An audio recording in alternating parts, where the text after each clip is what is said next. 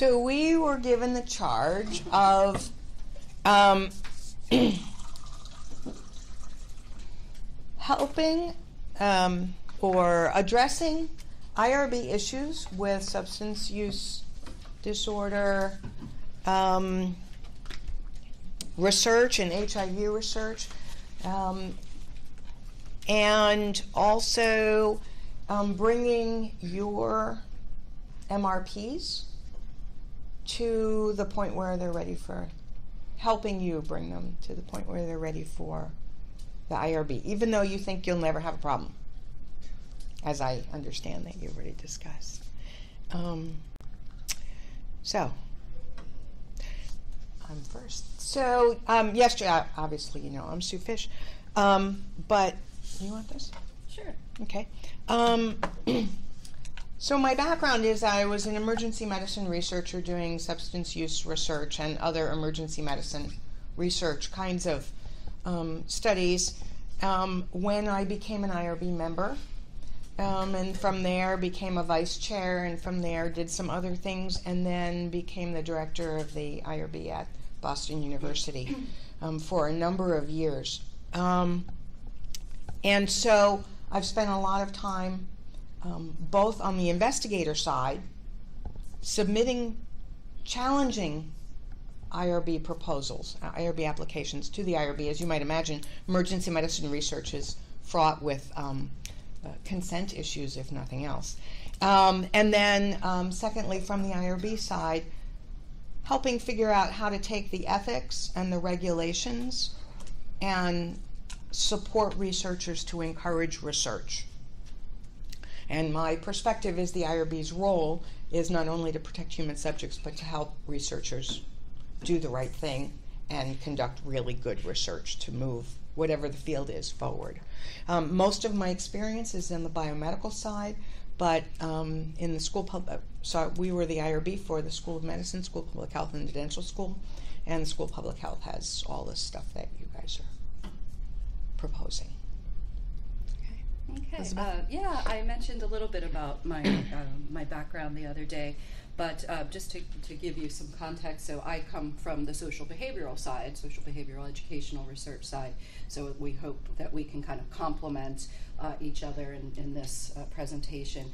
So early on, um, back in '99, I was writing my dissertation and using uh, online focus groups to study a bioethics um, a, a bioethics cohort. And at the time, you know, uh, the IRB was like, well, you know, what do, what do you mean? Are you are you going to be meeting with people? You know, what are you what are you going to be doing? And and so I said, well, no, we're you know, I'll be observing, you know, uh, uh, virtually and watching what they're doing, and then doing these online focus groups. And you know, it, again, now it seems so so like what's the problem? But then they they weren't quite sure, you know, wh- what were some of the issues of privacy, confidentiality, uh, you know, what, how do how do we study in virtual spaces?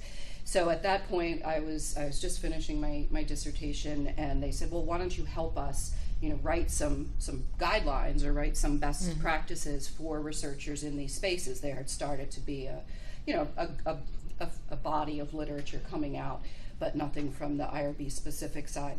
So uh, so I wrote some guidelines that that got used, and then. Um, uh, a number of years later, um, wrote a did a book on um, uh, online research ethics that was how I met Brenda. Um, many this was back in what 2002, three? No, maybe.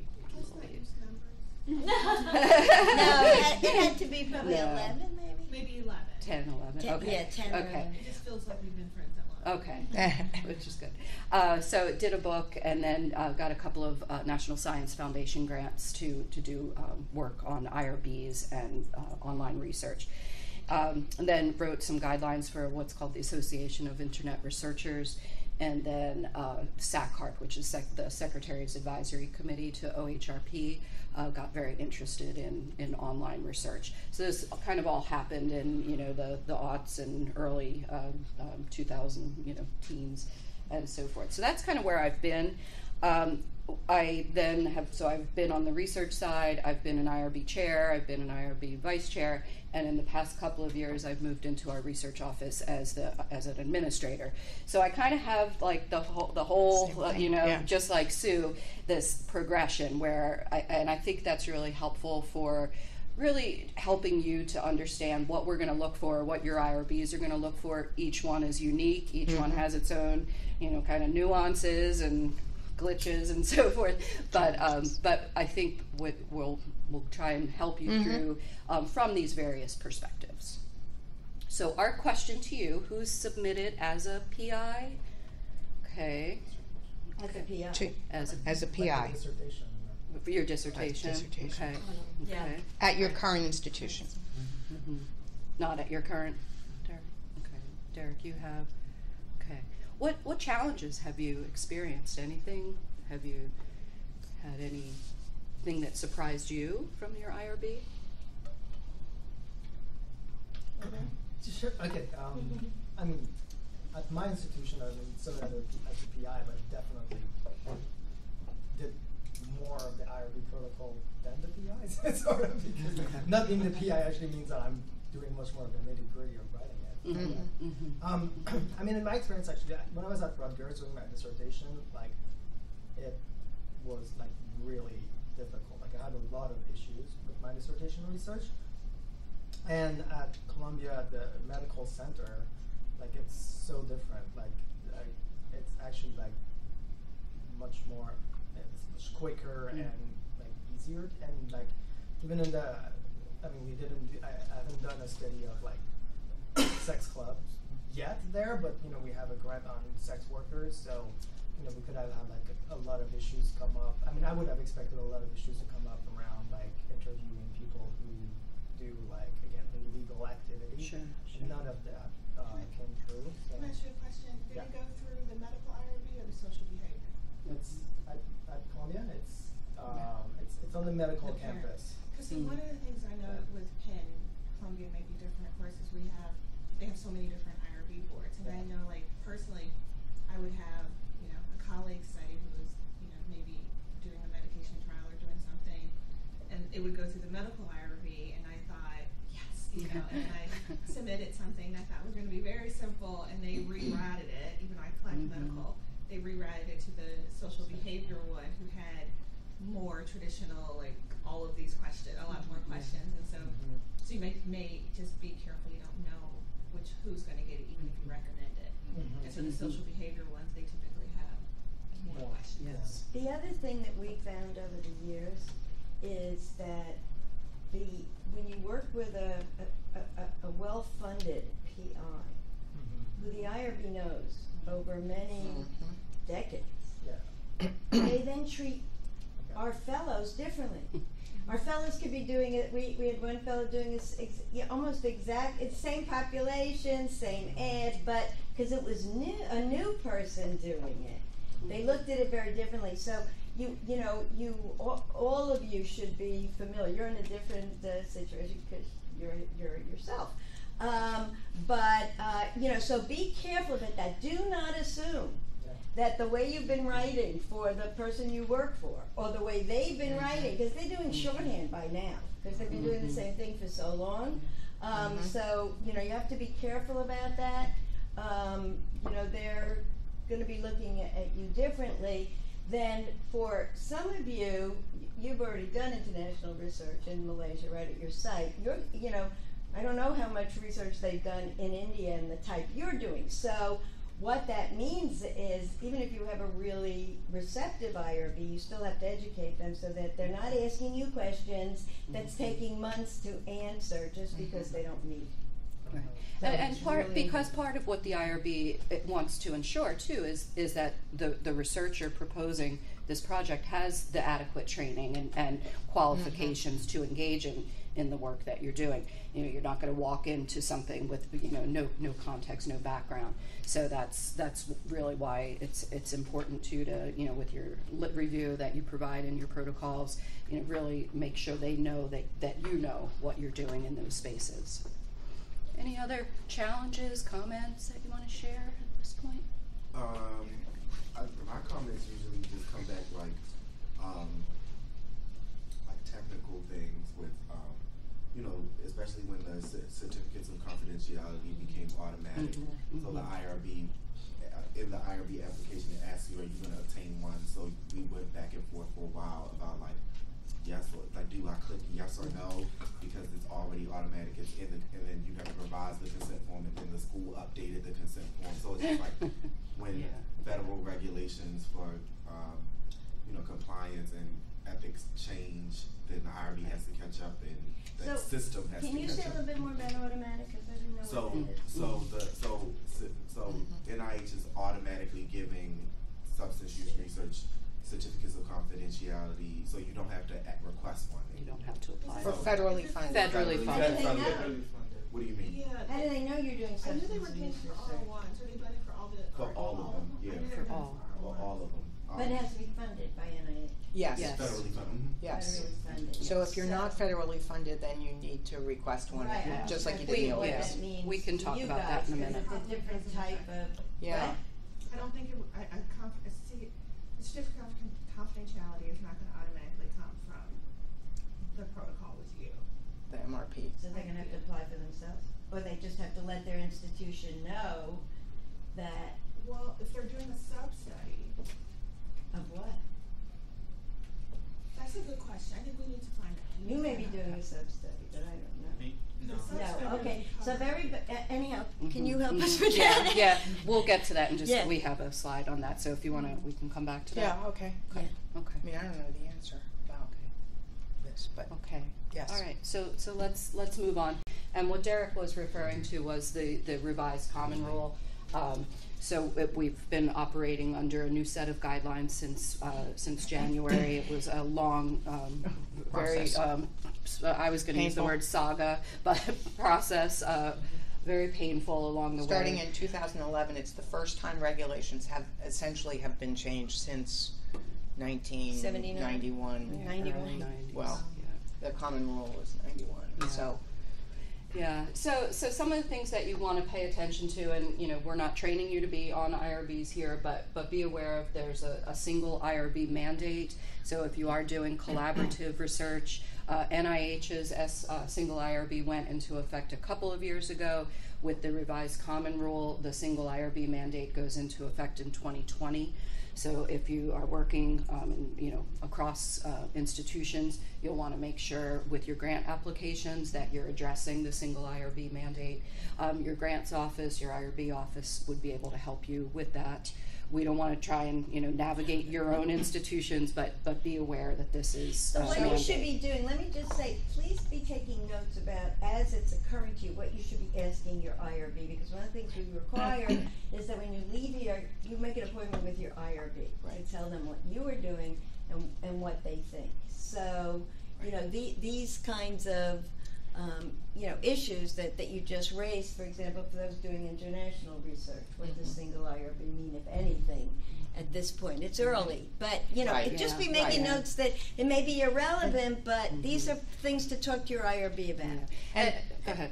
and just like Derek said, IRBs are trying to figure this out Right. and and catch up, kind of thing. So what was true six months ago when you last submitted may not be true now. So use your IRB office, your IRB staff, as people to help you.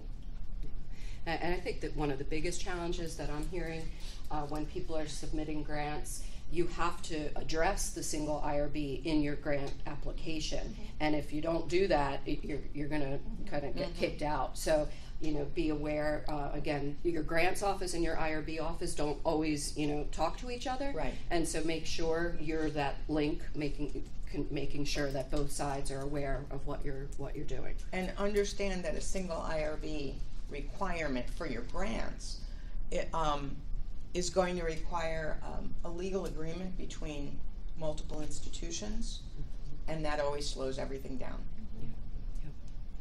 Yeah. If, if you have questions about this, I, I'll be happy to talk to you kind of offline. Um, I've done But some this work on doesn't go this. into effect till when? No, the NIH It's is now. already in effect. in That's So- the problem. Yeah. Okay, Is that we thought it was so- going to be next year, but and it's does not. it re- it's now. does it refer to international? law? it's collaborative research. So what if there's the same protocol being done at different institutions? Does it refer And internationally as well? internationally, I I. But what if you were like yeah. here, these, uh, Yeah. our fellows are simply doing an international site? For my case, they asked if I would require IRB application to be submitted to the University of Malaya. Yeah. Okay. And okay. I said, there's, I mean, for my particular research, it was just online and I didn't really need to go to Malaysia. Nothing was involved, so. Are you sure the Malaysian Department of Health is in agreement with that? Or whoever the regulatory body is? We usually go through UM. Uh, we've done surveys like that before. Um, it's just that we don't put anything re- related to Malaysia. It's just that uh, we're doing um, the online survey is with Malaysian MSM. But and I did talk in uh, in detail about this with the IRB at Yale, and they Mm. they did mention that um, I do not have to go through the UM, and they approved the uh, online Okay. survey. Okay. good. Okay. Okay. Yeah, for um, uh, it was much harder for me to go through IRB at University of Chicago than it has been here at Fordham, so that's been much nicer. The way that I've done it for uh, both my dissertation research and just this new project that's in Pakistan that, that has gotten IRB approval um, was getting. They call it an internal ethics committee Mm. in India. In- so, yeah. Mhm. um, so it'll be at the partner institution that I'm Mhm. that I'm working with, and so they meet like you know pretty much like an IRB would meet here on a monthly basis. Um, so I get a, a letter from them, and whenever I've provided that both to Chicago and here, it's kind of streamlined the process Okay. because they Right, see that okay, this other institution has already cleared it. And, and It's like a letter of support essentially. Yeah. But, Yes. yeah. But it's, it's really requesting that the local IRB or ethics committee, um, ru- assesses Right. the local context. Right. Because how does anybody at Fordham know what the social context of this kind of research is in India, southern India, or in Malaysia? So how, how would it, how does it fit into the cultural context in that local, um, place? Right. Right. Right. Um, and we at, at Boston University, we even before it was required, we would try to contact the local ethics group to get that cultural context to make sure that we weren't doing something that was rude or inappropriate or that our researchers weren't. So it's really important, even if not required. Yeah, I I'd think with the, particularly with India, uh, I'm not so sure about Malaysia, but I know when I lectured through, through, uh, throughout India for a, a bit, you know, the, the concern was much more on the medical side. Yeah. You Yeah. know, and, and so when, when I started talking about some of the social behavioral stuff, they were like, oh, you know, yeah. But I, but I think the, the, the spaces that you're in are, are so blurred, you know, between the medical and the social behavioral. So I, I think it'll I be. don't think there. I mean, at, at least at the institution that I partner with, doesn't have two distinct Okay. ones. It's just Okay. Just institutions IRB, yeah, Mhm. Good. or internal. Yeah. Yeah. All right, any other comments, questions? Um, we just wanted to, to say though, you know, we're still talking about these same basic principles of, of research ethics, um, you know, and we're gonna walk through, uh, what each of these mean in detail. Um, do you wanna talk or me? You can, you can Okay, do this one because so when we okay when we talk about um, respect for persons, you know we've been talking about that a lot this week. Um, some of the, the considerations that we have uh, things about privacy, confidentiality, anonymity. Um, respect for persons, as we know, is is articulated or codified through the informed consent process. And I think what what I've heard a lot this week is is that that consent really is a process. It's not just this one time, you know, sign this paper and then we're done. But but really this ongoing kind of discussion, negotiation, and and from the IRB perspective, you know, we, we want that to be um, a, you know a healthy process, and we want it to be a healthy process when when you need to come back to the IRB and say I need modifications. You know, a, again with with Faith's example yesterday, you know, she didn't expect to interview in a car. You know, the IRB is is not there to impede research. It really isn't. You know, I think that that kind of stereotype is. I think changing, but I just remember, you know, early on it was like, oh God, the IRB, you know, and, and everyone dreaded it. But I, I, I think that we've done a good job, you know, as a profession to to real, you know, we're researchers too. Um, we're not there to stop research, but to to enhance research. Um, so the the in, the informed consent process, um, what we think about, you know, when we when we when we ensure um, and assure people, our participants, that that we are going to protect you. How are we going to protect you? What what do we need? And I realize that that language of protection, you know, it, it does have that paternalistic um, um, mentality to it. But but I think again, there's there's different ways of presenting these these forms of protection. So when we talk about privacy, confidentiality, and this is what I was kind of pushing on, on yesterday with, with Roman, you know, in terms of the app and in terms of, of health research, um, MSM in Malaysia, you know, what are the norms? What are the, the privacy norms? What are the what are the regulations for privacy? You know, are there health uh, regulations in place that, that are going to impact the, the research that you're doing, the kinds of questions, the data itself, the data security uh, pieces. You know, how, how are there federal or, or state laws, you know, that, that are going to um, dictate how you store your data, um, the, the, your process of data, and so forth. So, data uh, security and stewardship really important to think about you know the, the, the whole lifespan of data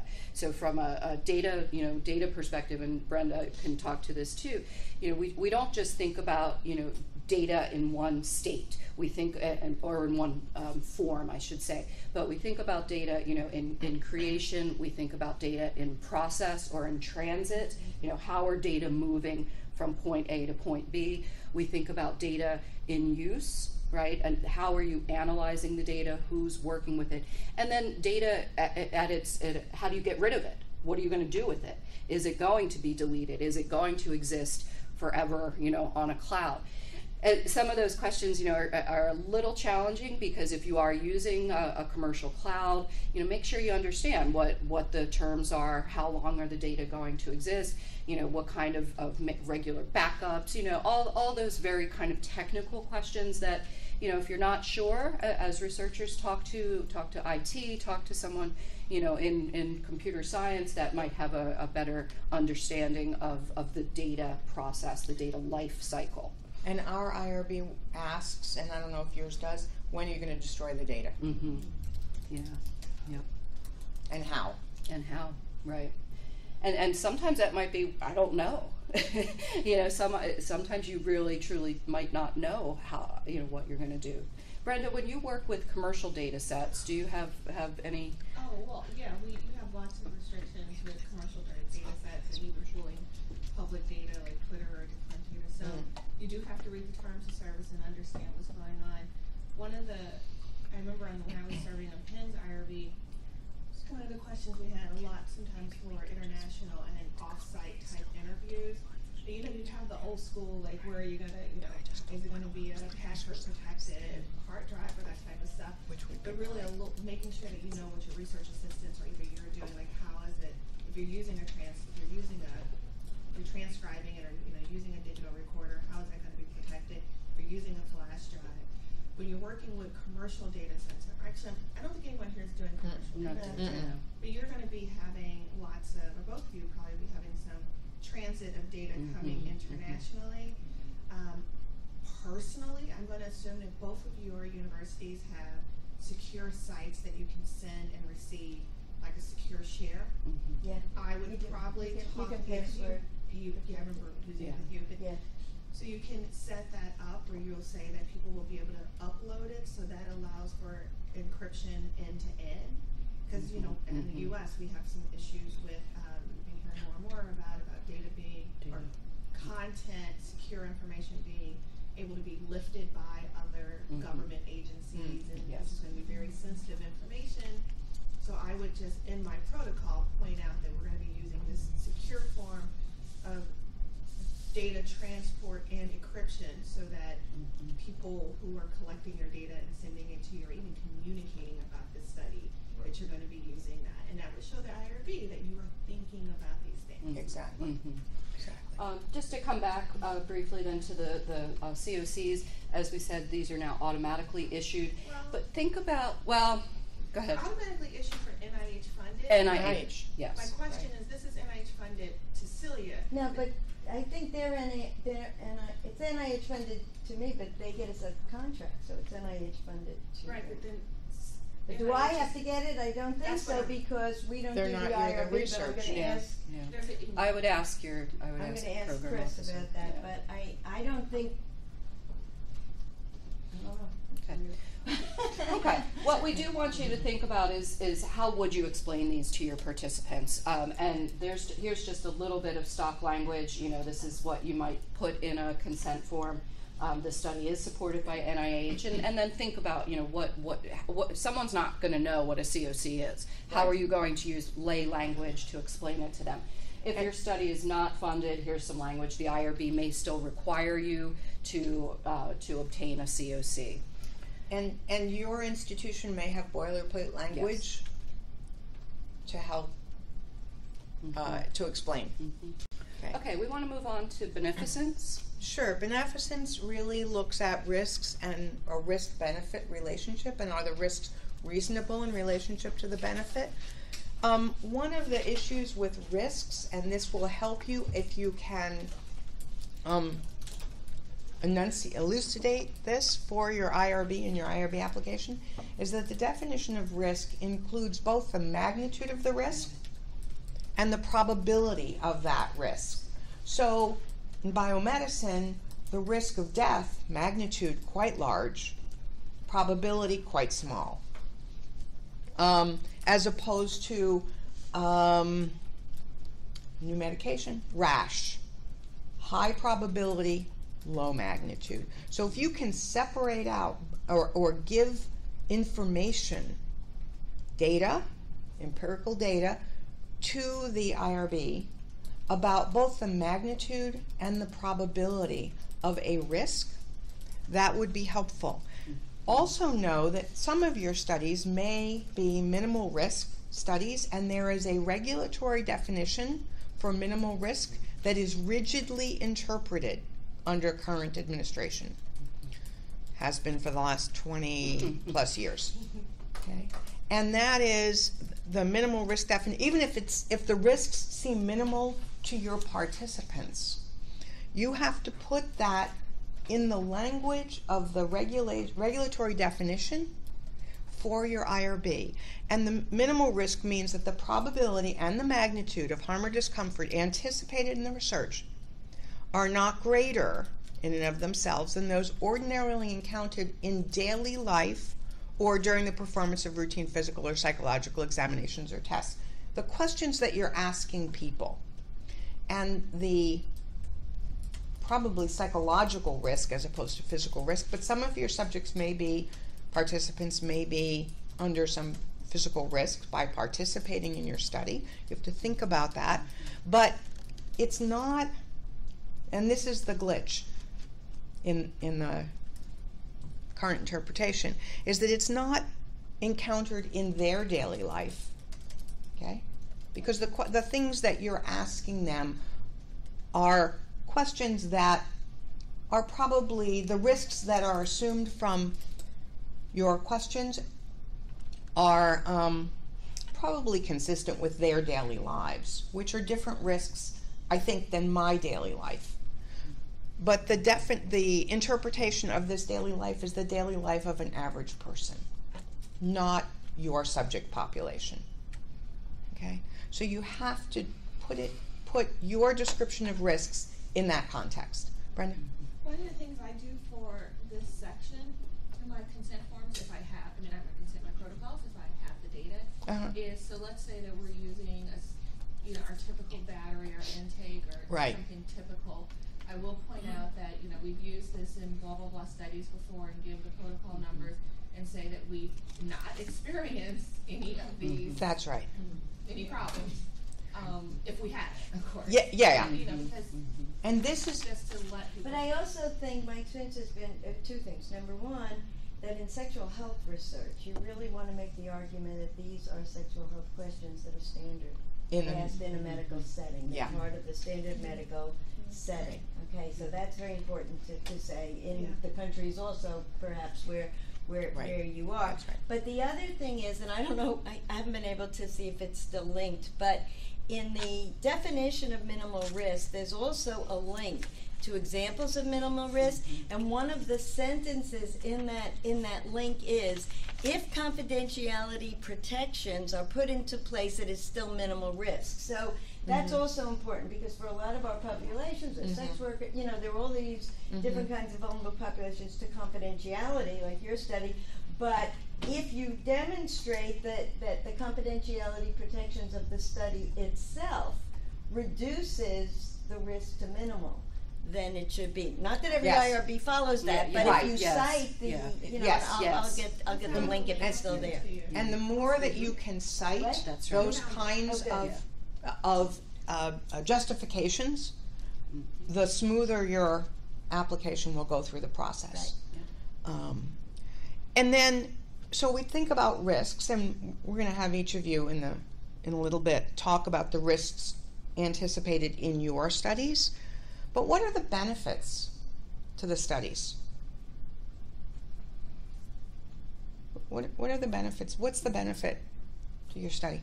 Because the risks have to be reasonable in relationship to the benefits. What are the benefits to the study? To the MRP. To the MRP study, yeah, to your MRP. To the participant? Well, that, think that's ab- what- think yeah, about yeah. much like um, Faith's Yeah, the three, the um, different the, levels. the sort of levels yesterday. Yep. The benefits can accrue to what? To whom? To the individual participant, to the participant's community, to general knowledge society. So, what are the benefits to your study? Why are you doing your study? Who's it going to help? Okay, I'll, we'll start. Um, Thanks, so maybe um, potentially to for my study to potentially improve uh, the provision of HIV services for this particular population, so that it can maybe shift um, the way hopefully programs are funded to do work So, what at the service level. Oh, okay. You want me to talk specifically about the benefits your MR, research? the benefits to the MRP. Right, even for the even for the MRP though, I think that that's okay. All right, I can I can just say the exact same thing and maybe not use the word services and use the word research. So perhaps to better be able to tailor um, how we do research with this particular population, um, so that it's more attentive to the community's particular needs. Exactly. Good. Okay. Good. That's exactly where I wanted you to go. Rum? For my case, I think the, the information that we'll, we'll find out from the MRP project will be, we'll be able to use that information to come up with a better app, um, or, and which will be helpful for the community or the people who will be using it in the future. Well, once again, I, I, I think I think that's true, but it's the lar- you know you're, you're you're saying how this will improve the larger study, which in turn will improve the life if that Right. study works out. Um, but I think you could all argue that um, recruitment of, of vulnerable populations, like the ones that, that you're studying, is is often difficult. And one of the reasons is is that um, the the perceived risks and benefits that uh, investigators may may think are there are not necessarily the ones that the participants are Mhm. thinking about, and because of that, these populations are invisible to research, and they're they're they're they're understudied. And the the purpose of, of this study is to find out more how we can tailor research to the needs of these vulnerable communities so that they can they can also benefit from empirically supported uh, interventions and treatments. And frequently by by understanding a participant's perspective and a participant's perceived risks and benefits. And that hopefully your data from your MRP will help inform the IRB in its assessment of risks and benefits going forward in this line of research. Okay. Okay. Um, let's move on. Uh, the third principle of justice. And, and we want to push you to, to think about you, you've all identified a population. Um, and we want you to, to be able to really articulate who, who is your intended audience and why. You know, why why are you working in Malaysia? Why are you working in Hyderabad? You know, why why? What is the the justification? And and when we think about the enrollment criteria, um, we want it to be scientifically justified, right? We don't want it to just be like, well, you know, that uh, there's some random reason for me working in Malaysia or, or Hyderabad. You know, what is the scientific justification? And and do the demographics matter? And and so so we will point. We were talking about you last night, Derek, and we were saying, you know, do the demographics of, of in Baltimore. How, how do they how do they play into your study? For example, you know, there there's what East Baltimore and West Baltimore. You know, and and does your study address both? And so when we think about demographics, we're thinking about you know not not just you you know this homogenous pool of individuals. We're thinking about you know what is the racial, the gender makeup, the, the geographical makeup, uh, SES orientation, educational levels, and so forth. You know, and, and, and so why why do the demographics matter? You know, we want to justify those in a in a scientific uh, manner. And then your recruitment methods, we want to think about, you know, i- i- is, are your recruitment methods, how you're planning to recruit, are they going to get you to the population that you need, to a scientifically justifiable or valid population? You know, how, what, what, how will you be approaching people? How, how are you going to get the population that you need? So what we'd like we'd like you to think about is, I mean, you've done research in these populations before. Your recruitment methods. We want to move you out of the rote. Mm-hmm. And if you had to describe why you chose the population, justify why you chose the population, why these recruitment methods are the right ones, how would you justify it? What data, what experience? So to be able to absolutely explain every step of the way. Okay? And the more you can explain why, the easier your IRB application is going to go. Uh, uh, We, we, we raised this question, you know, are the principles of, of research ethics drawn from the Belmont report, are they adequate? You know, and there's been tons of literature, you know, debating the, the principles and so forth. Um, Dr. Fisher brought up other um, provisions throughout the week, you know, the, the fiduciary, the relational, um, integrity. You know, there are other principles that we want to, to uh, embody in our research. Um, and it, it- to that end, there was one article that we put in in the um, drive about doing ethics, and this is a uh, she's a, a digital um, humanities scholar that I've worked with, Annette Markham, and and sh- I like the article, and I, I shared it first with Sue and said, "What do you think? You know, it's not really in your domain." Um, but I like the way she talks about, you know, the current structures, the, the historical foundations of research ethics, uh, and they're kind of um, how she calls them the, the error avoidance or the concept driven, and they're they're much more the, the top down model that we're used to. It's the you know the a priori approach.